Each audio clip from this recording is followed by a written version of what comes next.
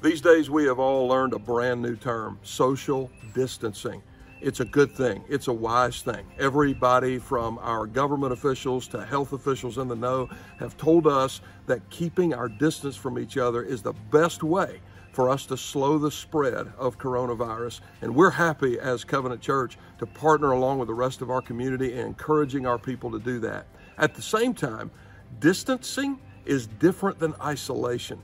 Don't be isolated. And there are ways that you can reach out because if you become isolated, you're going to become like this guy. Wilson, Wilson, hey buddy, let's go for a walk. I mean, it's a really nice day out, Wilson. Let's go for a walk. But Wilson, you got to stay close to me, buddy, because it's windy out and we don't want to lose you, okay, Wilson? I don't want to lose you. Stay close. Okay, Bubba.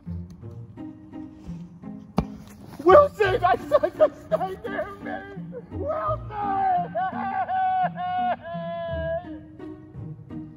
Don't be like that guy. Join us online Sundays at 10 a.m. Join us if you're part of Covenant Kids. Any, there are various ways that you can be involved with us without having to get close to anybody, and we want your community and your fellowship in these days. You can find all of the information and the ways to connect with us in this video. God bless you. Please reach out to us if we can serve you in any way during this unprecedented time.